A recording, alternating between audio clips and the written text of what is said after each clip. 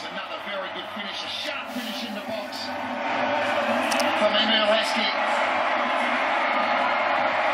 He's back to goal victory.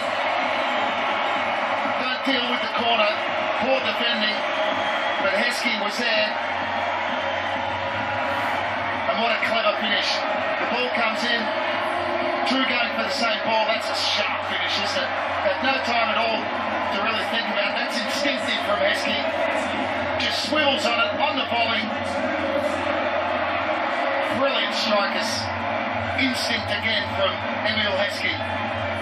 Mark Milligan claiming handball. Does Heskey almost bicycle kick it into his own hand? I wonder. There's a touch off Heskey's, off Milligan's arm on the way through, but